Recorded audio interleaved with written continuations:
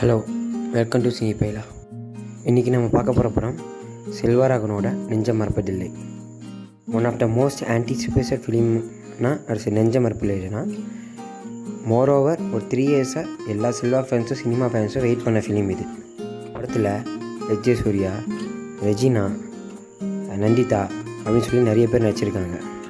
அதுக்கப்புறம் நம்ம செல்வாவோட ஃபேவரட் காம்போவான யுவன் சங்கர் ராஜா மற்றும் அரவிந்த் கிருஷ்ணா இந்த படத்தை சினிமாட்டோகிராஃபி பண்ணியிருக்காங்க.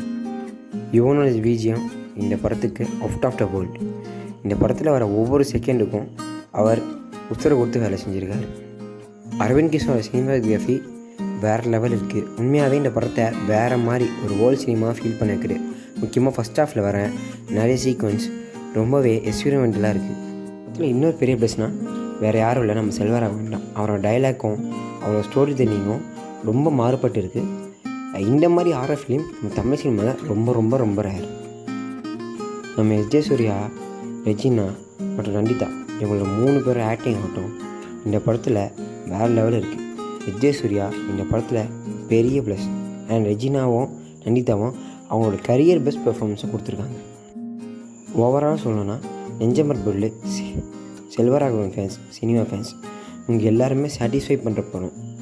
அது மட்டும் இல்லாமல் புதுசாக ஒரு படம் பார்க்கணும்னு நினைக்கிறவங்களுக்கு இந்த படம் இன்னும் ரொம்ப சாட்டிஸ்ஃபேக்ஷனாக இருக்கும். கமர்ஷியல் ஆடியன்ஸ்க்கு இந்த படம் ஏற்றதாக இருக்குமான்னு தெரில தேங்க்யூ ஃபார் வாட்சிங் சினி பைலா.